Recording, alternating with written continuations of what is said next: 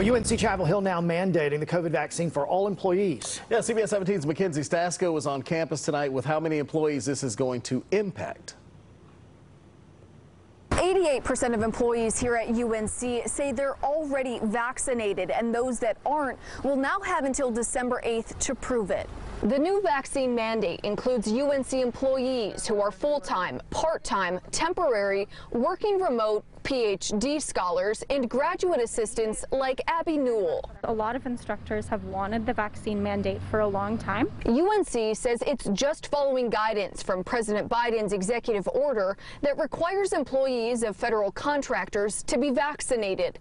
Because the university receives $160 million in federal contract funding, it falls under that category. I suspect there will be some pushback from instructors in particular, um, but like all rules, there are exceptions for groups that need it, for groups that are concerned about it for their health or their religion. UNC's old policy relied on good faith, allowing employees to say they're vaccinated without showing proof. But now they'll have to upload their CDC vaccine card. I know that like autonomy is a huge thing um, over the bodies, but if it's protecting a large group of people, I think it's good.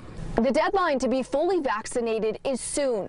Those who want the Moderna shot will have to get their first dose by this Wednesday, Pfizer by November 3rd, and the Johnson & Johnson by November 24th. I think for most of us, we're really excited about this and it will make it easier for us to continue having in-person classes without interruption as time goes forward.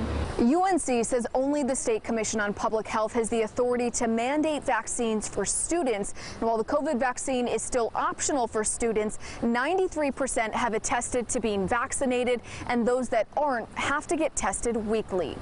In Chapel Hill, Mackenzie Stasko, CBS 17 News. Mackenzie, thank you. Now